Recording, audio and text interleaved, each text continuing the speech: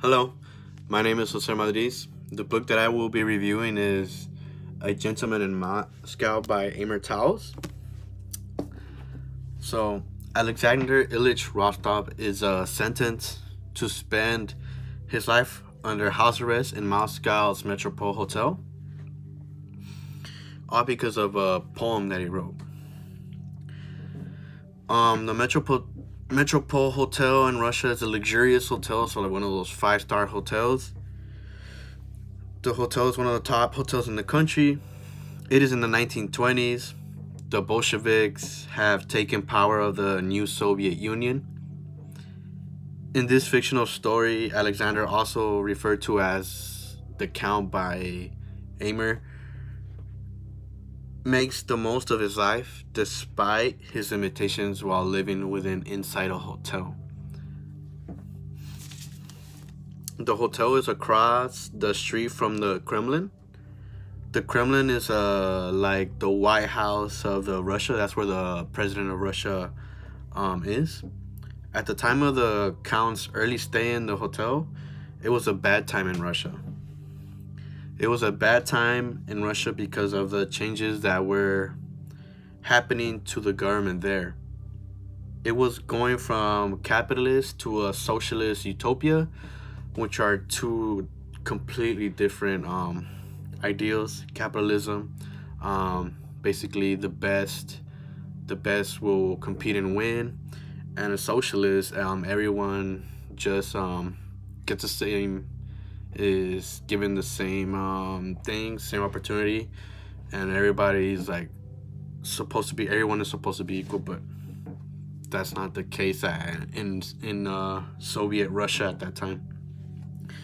Um, that time in Russia reminds me a lot of the French Revolution because everyone is afraid to choose a side because their lives depend on it. Just like how the clergymen of France at the time had to had to choose to side whether with the revolution or the church. Um, in the in the book, A Gentleman in Moscow, the the romantic scenes or like the sex scenes aren't aren't very detailed. They're just they're just um I guess you could say just assumed simply.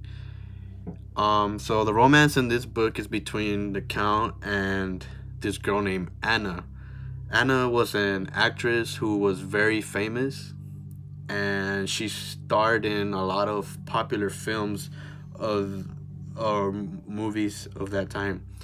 She doesn't like him at first because she just sees him like she doesn't have any good impressions of him at first because he lives in a in a hotel because he was forced there by the government but then she does start, she does invite him over and she does seduce him. And they get to know each other. I wouldn't call it a relationship because she's not always there at the hotel, the Metropole Hotel. But when she does she leads him to her room and drops her dress and basically those are the type of scenes that you see within this book. It's not very um, detailed or descriptive of how they have sex. But it is not a fling either. It's not a fling because they do this over a course of many years. I mean the book starts in the 1920s and ends in in so like 60 years. There's many decades within that, that happened within like the story of uh, Rostov, the Count. As the years go, she loses a lot of uh, fame, possessions, and opportunities because the Bolsheviks saw her as celebrating individualism. And at the time, individualism was a very unpopular thing to the current government because it was since they were socialists, it wasn't about being yourself. It was about how you can do things for other people or being more collective.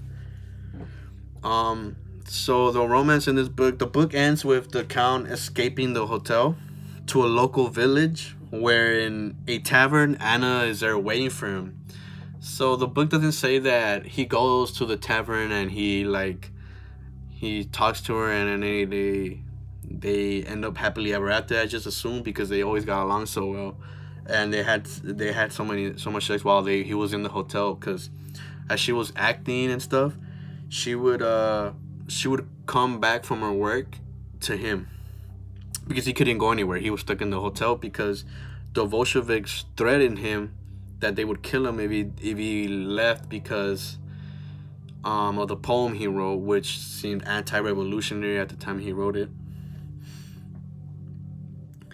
And you know, one of the things that happened to Anna is that as the years went by, um, she lost a lot of her opportunities, right? But um, the thing is, she learned a lot from um, from the Count Alexander Ilyich Rostov because in this in this book he he's a very witty and charming charming man he always finds a way to be happy no matter the situations because when he first got exiled to the hotel he was living in a luxurious room but then but then afterwards they switched him and they made him live in the attic in a small compact attic within the hotel but he always made a a a, a, a, a good sense of everything around him. And basically that's a book. It reminds me a lot of the french revolution the sex scenes aren't that descriptive but there is a lot of romance between him and anna because he waits for her and she comes back to see him. Thank you